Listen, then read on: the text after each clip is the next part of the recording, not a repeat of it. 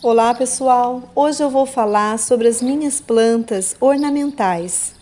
Plantas ornamentais são aquelas cultivadas devido à sua beleza, como a floração, a folhagem, o aspecto do caule. São espécies utilizadas para decoração interna dos ambientes ou em jardins e outras áreas externas. Olha como estão lindas as caizucas. Elas podem ser usadas de forma isolada no jardim ou em grupos, formando maciços, cerca viva e também pode ser cultivada em vaso.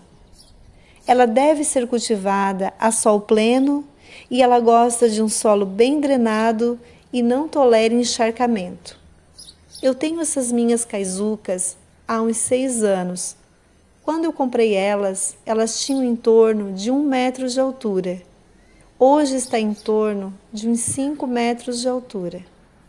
E sobre a poda, se tiver algum galho mais feio ou que esteja crescendo mais que os outros, eu costumo cortar. Mas aí você pode deixar ela do jeito que você gosta mais, que você acha mais bonito. E sobre as regas, quando você compra a sua caizuca, você vai molhar ela nos primeiros meses. Depois você pode deixar por conta da natureza. Ela não é muito exigente quanto às regas. Essas minhas caizucas, eu não, eu não faço a rega e nem faço adubação nelas. E elas estão lindas. E eu também tenho a bromélia imperial.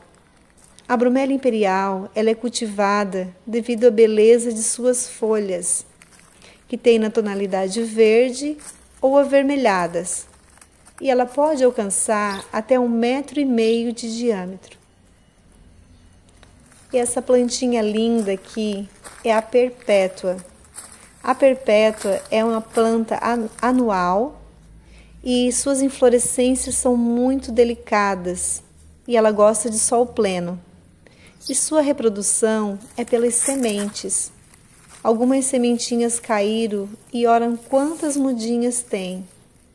É muito fácil a sua reprodução. Essa aqui tem até uma florzinha, olha que linda. É muito delicada. E eu também tenho a palmeira fênix.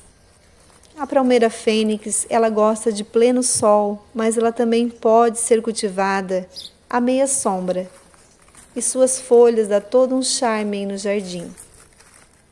Essas minhas plantas, elas são plantas de muito fácil cultivo e são muito lindas, deixam um jardim muito bonito.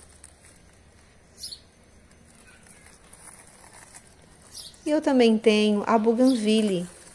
A bougainville, ela é cultivada devido à beleza de suas flores. Essa minha bougainville, ela floresce o inverno inteirinho. E para a buganvília florescer, ela tem que pegar pleno sol e você não precisa molhar ela. Ela tem que passar um pouquinho de sede, ela tem que passar um pouquinho de estresse. Ela vai florescer bastante. Estão lindas caizucas.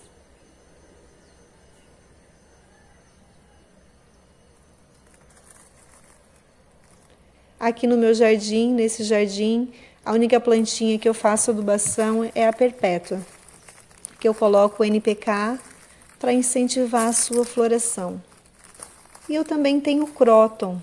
O cróton é lindo e ele está sendo cultivado na sombra, mas o cróton ele prefere pleno sol e ele é cultivado devido à beleza de suas folhas, que é um tom de vermelho com verde e amarelo muito lindo. Ele pode alcançar até 3 metros de altura e ele não é exigente com, com regas e nem com adubação. Eu não faço adubação e nem rego o cróton, ele é bem, bem de fácil cultivo. Qual dessas plantas você gostou mais? Diz aí para mim nos comentários. Se você gosta de flores, se inscreva no canal e ative o sininho em todas para poder receber todos os vídeos. Obrigada por assistir o vídeo e até o próximo vídeo. Tchau!